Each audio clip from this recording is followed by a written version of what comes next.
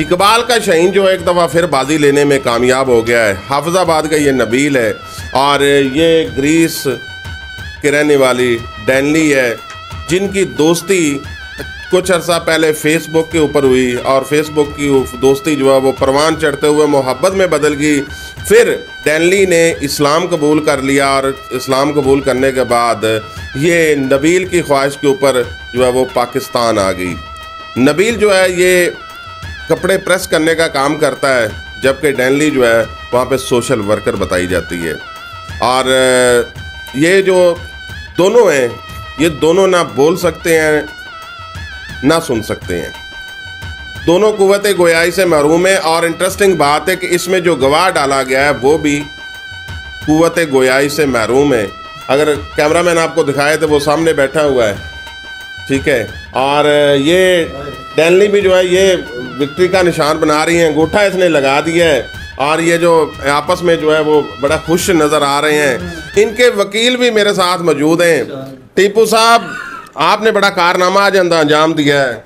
जी, अल्हम्दुलिल्लाह जी, आज इनका निकाह करवाया हमने। ये हमारे पास आए हैं। मियाँ बीबी दोनों ही कुफ्त समाज से महरूम हैं। और आज इनके क्योंकि इनके बड़ी बात यह है कि इनके गवाह भी जो है ना वो भी इसी तरह इनकी तरह ही हैं बैरे गूँगे हैं। और एक गवाहान की मौजूदगी में और ये आवाम के सामने जो इनका निकाह करवाया लोग भी बड़े खुश हैं। और अल्हम्दुलिल्लाह मैं भी बड़ा खुश हूँ क्योंकि मैंने अपनी ज़िंदगी में पहली दफ़ा इस तरह के जोड़ेगा और वो भी बाइट से आए हुए जोड़ेगा निकाह मैंने करवाया। गाना आता है गाना? कौन है ये लोग? बोलो। कहाँ? ਅੱਛਾ ਅੱਛਾ ਤਾਂ ਇਹਨੂੰ ਕਿੰਨੇ ਕਿੰਨਾ ਕੁ ਪਿਆਰ ਕਰਨਾ ਹੈ ਉਫ ਇਹਨੂੰ ਦੱਸੋ ਉਫ ਉਫ ਉਫ ਉਫ ਉਫ ਉਫ ਉਫ ਕਿੰਨੇ ਆ ਗਿਆ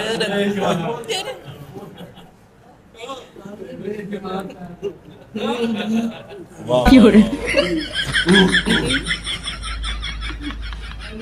वाह वाह वाह। थोड़े तो बंदा कवेगी तो सुनेगी कहते हैं कि ये जो मोहब्बत है ये अंधी होती है। कौन है लेकिन ये मोहब्बत जो है वो ये बोली भी है? अब अल्लाह ताला इनको कामयाब करे इनकी जोड़ी कामयाब रखे। और ये अब ये मुझे बताएँ कि ये पाकिस्तान में रहेंगे या वापस चले जाएँगे? सर, इन्होंने कुछ बताया? इन्होंने फ़िलहाल तो यही मुझे बताया कि हम निकाह करके कुछ दिन इधर रहेंगे उसके बाद फिर सोचते हैं क्योंकि वीज़े के लिए इन्होंने अप्लाई कर रखा है। मज़ीद इनके ट्रांसलेटर मौजूद हैं हमारे पास वो इनके बारे में ज़्यादा बता सकते हैं अच्छा ये मुझे बता दें सामने आ जाएँ। ये मुझे बता दें कि इनकी दोस्ती जो है जैसा कि बताया गया फेसबुक के ऊपर हुई उसके बाद ये पाकिस्तान आई है और अब इन्होंने निकाह कर लिया मुसलमान हुई ये पहले ही हो चुकी हैं। तो अब इनका नेक्स्ट प्लान क्या है? मैं इनसे खुद बताते खुद इनसे पूछ के मैं आपको बता सकता हूँ क्योंकि जो इन्होंने खुद बताना है वो आपको मैं इनको ट्रांसलेट कर देता हूँ ये आपको बता सकते हैं कि इनका नेक्स्ट प्लान क्या है। जरा पूछें आप इनसे।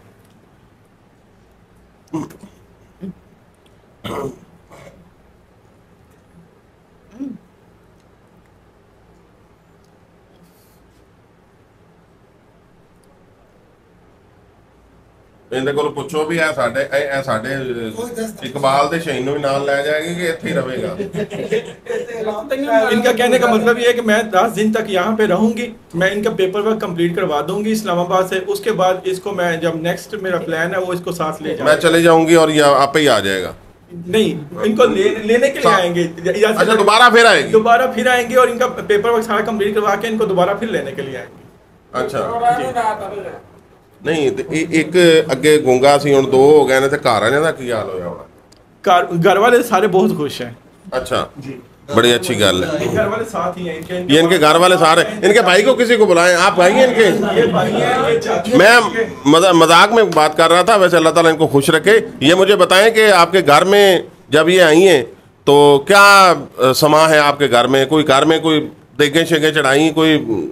नहीं सर देखे जेके तो नहीं चढ़ाई लेकिन हम इनको लेने गए हैं एयरपोर्ट पे अच्छा तो हम बहुत खुश हुए हैं ये हमारे भाई के पास आई हैं अच्छा तो हम बहुत खुश हैं ਭਾਈ ਨੇ ਤੁਹਾਨੂੰ ਪਹਿਲਾਂ ਦੱਸਿਆ ਸੀ ਕਿ ਮੇਰਾ ਮੈਂ ਇਹਦੇ ਨਾਲ ਮੇਰਾ ਉੱਥੇ ਕੋਈ ਚੱਕਰ ਚੱਲਦਾ ਪਿਆ ਗ੍ਰੀਸ ਵਿੱਚ जी हाँ जी नौ दस साल तो जिन्होंने दोस्ती है इन्हों दी 9-10 ਸਾਲ ਸੇ जी ਮਾਸ਼ਾਅੱਲਾ ਮਾਸ਼ਾਅੱਲਾ ਤੇ ਬੜੀ ਲੇਟ ਨਹੀਂ ਵਿਆਹ ਕੀਤਾ ਵੈਸੇ ਉਹ ਤਾਂ ਪੜਦਾ ਸੀ ਨਾ ਉਸ ਵਕਤ ਇਹ ਪੜਤਾ था ਅੱਛਾ तो ये डैनली क्या करती थी उस वक्त कोई पता नहीं ਅੱਛਾ उधर ही थे ਇਹਨਾਂ ਦੀ ਵੀਡੀਓ ਕਾਲ ਤੇ ਵੀ ਗੱਲਾਂ ਹੁੰਦੀਆਂ हाँ जी वीडियो कॉल पे जो ना बात ਤੁਹਾਨੂੰ ਤਾਂ ਕੋਈ ਸਮਝ ਨਹੀਂ ਆਉਂਦੀ ਹੋਣੀ ਜੋ ਮਰਜ਼ੀ ਕਰ हाँ ਸਕਦੇ जी। ਹੋ क्योंकि ਇਹਨਾਂ ਦੇ आपस ਇਹਨਾਂ ਦੀ मखसूस लैंग्वेज है ये कह रहे हैं कि 10 साल से इनका आपस में जो है वो फेसबुक के ऊपर अ, जो है वो दोस्ती थी और बड़े खुश नज़र आ रहे हैं अल्लाह ताला से दुआ है कि इकबाल के शहीनों को कामयाबियां ता फरमाए और ये जोड़ा जो है ये खुश रहे क्यों जी ओके ओके Good.